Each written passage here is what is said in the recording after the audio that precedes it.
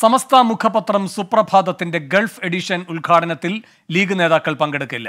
സമസ്തയിലെ ഒരു വിഭാഗവുമായുള്ള തർക്കവും തെരഞ്ഞെടുപ്പ് സമയത്ത് പ്രതിരോധത്തിലാക്കിയതുമാണ് ലീഗിനെ ചൊടിപ്പിച്ചത്.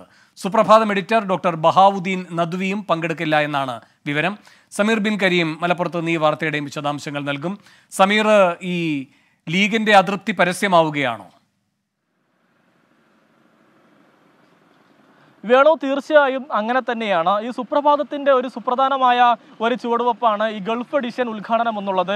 ഏറെ ദിവസങ്ങളായി സമസ്ത കേന്ദ്രങ്ങളിൽ വ്യാപകമായ പ്രചാരണം ഈ പരിപാടിക്ക് നൽകിയിരുന്നു. അതിന് മുന്നോടിയായി ഈ- പരിപാടിയിൽ പങ്കെടുക്കുന്ന ആളുകളുടെ ഫോട്ടോ സഹിതം ഒരു പോസ്റ്ററും പുറത്തിറക്കിയിരുന്നു. അതിൽ പി കെ കുഞ്ഞാലിക്കുട്ടി പാണക്കാട് സാധിക്കലി തങ്ങൾ രമേശ് ചെന്നിത്തല ഉൾപ്പെടെയുള്ള നേതാക്കളുടെ പടങ്ങൾ അതിൽ പങ്കെടുക്കുമെന്നുകൊണ്ട് പ്രചരിപ്പിക്കുന്നതിൽ നമുക്ക് കാണാൻ സാധിക്കുന്നുണ്ട്. എന്നാൽ ഇതുമായി ബന്ധപ്പെട്ട് നമ്മൾ അന്വേഷിക്കുമ്പോൾ ഈ പാണക്കാട് സാധിക്കലി തങ്ങളും പി കെ കുഞ്ഞാലിക്കുട്ടിയും ഈ ഒരു പരിപാടിയിൽ പങ്കെടുക്കുന്നില്ല എന്നുള്ളതാണ് ഇവർ വെ- ലീഗ് നേതൃത്വം വ്യക്തമാക്കുന്നത്. അതിന് ഔദ്യോഗികമായി ലീഗ് നൽകുന്ന ഒരു കാരണം പതിനെട്ട് ഈ പരിപാടി നടക്കുന്ന പതിനെട്ടാം തീയതി കോഴിക്കോട് മുസ്ലിം ലീഗിന്റെ സംസ്ഥാന കമ്മിറ്റി യോഗം ചേരുന്നുണ്ട് എന്നുള്ളതാണ്. എന്നാൽ ഇതുമായി ബന്ധപ്പെട്ട് നമുക്ക് ലഭ്യമാക്കുന്ന വിവരമനുസരിച്ച് സമസ്തയിലെ ഈ ലീഗ് വിരുദ്ധരുമായി ഒരു തരത്തിലുള്ള ഒരു അനുരഞ്ജനമോ അല്ലെങ്കിൽ സന്ധിയും വേണ്ട എന്നുള്ള കർശനമായ നിലപാടിന്റെ പുറത്താണ് ഇത്തരത്തിൽ പരിപാടിയിൽ പങ്കെടുക്കാത്തത് എന്നുള്ളതാണ് ലീഗ് കേന്ദ്രങ്ങൾ വ്യക്തമാക്കുന്നത്. എന്നാൽ ഈ തെരഞ്ഞെടുപ്പിന് മുൻ മുൻപായിരുന്നു ഇത്തരത്തിൽ ഈ ഒരു പരിപാടിക്ക് വേണ്ടി സുപ്രഭാതം അധികൃതർ ഈ പാണക്കാട് സാധിക്കലി തങ്ങളെയും കുഞ്ഞാലിക്കുട്ടിയെയും ബന്ധപ്പെട്ടത് അപ്പോൾ അവർ വളരെ കൃത്യമായി പരിപാടിയിൽ പങ്കെടുക്കുമെന്ന് കൃത്യമായി അറിയിച്ചിരുന്നു. എന്നാൽ തിരഞ്ഞെടുപ്പ് കാലത്ത് ഈ സമസ്തയിലെ ഒരു വിഭാഗം മുസ്ലിം ലീഗിനെതിരെ